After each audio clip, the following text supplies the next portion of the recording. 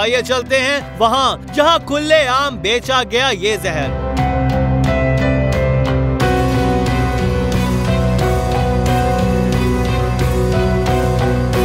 میں موجود ہوں اس جگہ پر جہاں پر یہ شہریلی شراب جو ہے بیچی گئی اور بالا عرف راکا جو ہے وہ یہاں پر مقیم تھا، اس کی یہ جھونپڑی نما جگہ ہے جہاں پر وہ یہ رکھے اس رات کرسمس کی رات بیچتا رہا۔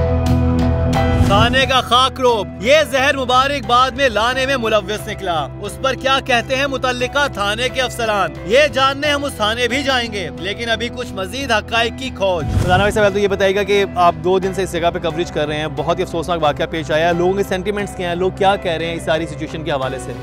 جی ایسے کہ اقبال اس بالا جسے راکا بھی کہتے ہیں یہ جھونپڑی نما سا گھر ہے کیونکہ اس کے جو اہل خانہ اس کو کوئی خاص اس کے ساتھ نہیں اس کا میل ملاب وہ اکیلا بالکل یہاں پر رہتا ہے۔ ساون مسیح نے اس کو یہ شراب لا کر ہینڈ اوور کی تھی جو اقبال بالا نے یہاں پر سر عام کیونکہ اہل علاقہ اس بات کے گواہ ہیں کہ وہ یہاں پر رکھ کر بیچتا رہا اسے کسی نے نہیں پوچھا تین تین سو روپے چار چار سو روپے وہ شاپر بنا کر شاپر بنا کے بیچتا رہا۔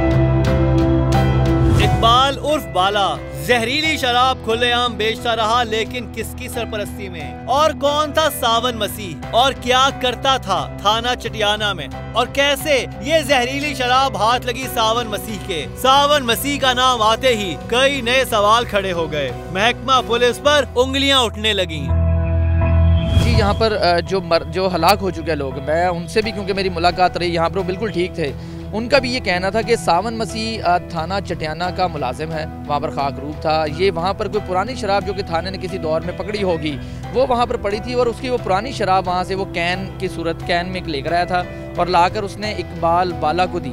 اور اقبال بالا نے وہ شراب یہاں پر سر عام فروخت کی کسی نے اسے نہیں پوچھا۔ اور جب وہ شراب جن جن لوگوں نے پی ہے وہ آج آپ کے سامنے ہے کچھ اقبال اقبال بالا کی خود بھی ڈیتھ ہو گئی جی اقبال والا جو مرکزی ملزم جس کو قرار دیا جا رہا ہے اس کی خود بھی ڈیتھ ہو چکی ہے بلکہ دو لوگوں کی ہو چکی ہے ساون ہاں ساون مسیح پولیس نے گرفتار کر لیا ہوا ہے اور ابھی مزید تفتیش ان کی جاری ہے۔